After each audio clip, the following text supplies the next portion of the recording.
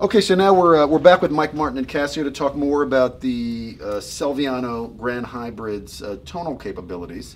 And uh, Mike, take it away. Tell us uh, about the presets, about how people can shape the sounds, etc. Absolutely. So uh, first and foremost, right on the front of the instrument is where you can select your three different piano tones: the Berlin Grand, the Hamburg, and the Vienna. So, uh, you know, very easy, one button press away. Um, if you press them again, you'll get a variation on that sound. So there's a sort of bright and mellow versions of each of those presets as well. Uh, but again, one button press away. Now, if you want to get in and, and contour and adjust the sounds, there's a lot of control uh, to adjust things, and the engine's quite powerful. If you go into settings here, uh, the second item on the list is acoustic simulator. That's the real power of our um, AIR Grand sound source. That's the engine or our chip that, that drives this instrument. So um, starting at the top, uh, we have something called hammer response. That's a, actually a time element between the connection of the action and the engine itself. Uh, a piano, as you know, the sound isn't like a light switch; it's not instantaneous. So, you, you know, we've we've done a lot of research to to make sure you know the default is natural. Um, but you could actually make the action feel or respond a little bit quicker or a little bit slower depending on the you know what you're used to playing. There's some adjustment there. Uh, lid simulator. Um, as, as it uh, sounds, you know, you can get in here and contour the, the, the, lid position of the instrument accordingly. And we've gone to great lengths to model that as well. Uh, damper resonance. So when you're using your damper pedal, um, 10 levels of, of resonance that would occur when you're using that. Oh, yeah, well, actually, sympathetic is is string resonance. Mm. So that's what's happening between the keys, as opposed to uh, damper resonance is only when the pedal is is in use. So two different things. One is all the strings resonating together, and with string resonance, that's how the individual strings inter, um, interact sympathetically. Um, damper noise, of course, you can get in here, and you know this is just the sound of the yeah. the felt coming off uh, coming off the uh, strings. Um, and then you get into things like, uh, and this is unique to the GP500 from here down, uh, where you have some control of some other elements. Um, open string resonance, so that's you know your your strings from the the top octave and a half or so yeah. of the instrument that are ringing freely and, and resonating you know while you're playing the instrument and that's a you know there's some upper harmonics and uh, sounds that are happening there along with the aliquot resonance. Um, some piano makers really exaggerate again the, again those upper harmonics that are occurring between the um, uh, basically the, the tuning peg and, and, and the fret. So um, those are tuned in a lot of instruments. And then we got you know mechanical noises of the pedal action, the key on and key off action noises.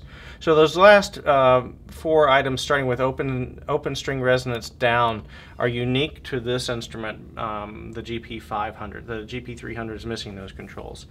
Another cool thing is once you've contoured and adjusted the instrument however you like, and that would include other things like the reverb and other effects simulation that we do. Uh, we'll just take a quick look at that.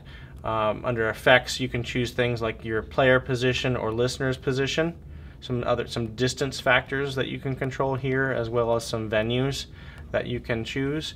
Uh, once you've set all of these things, you can store them as a scene and that's a that's a snapshot of everything that's going on in the instrument, um, and you can recall that as as one button press. In fact, built into the instrument, um, the scenes, there are uh, 14 different scenes for a variety of type of musical styles, including um, composers.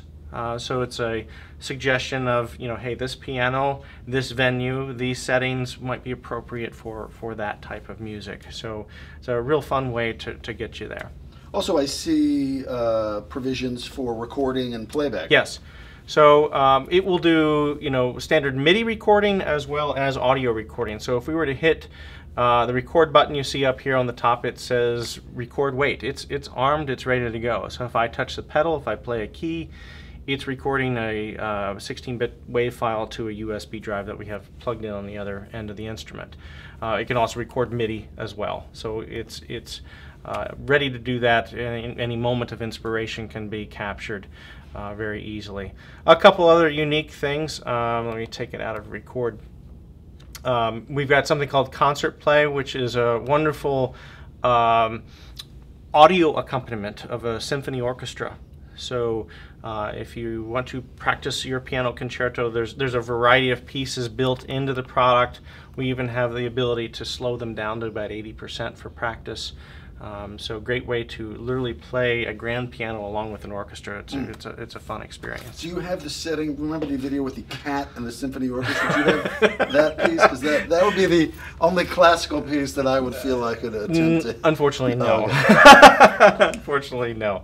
So, um, of course, uh, we can also do layers. Uh, there are sounds in this instrument besides the pianos. Yeah, I- saw that in the demo that there's that there's some some Yeah, there's there's uh, new stereo strings, uh, electric pianos, Wurlitzers, harpsichords, and more. And that's another differentiating factor between the the GP 300 and the GP 500 is the 500 has many other sounds, m- many more than the 300. yeah.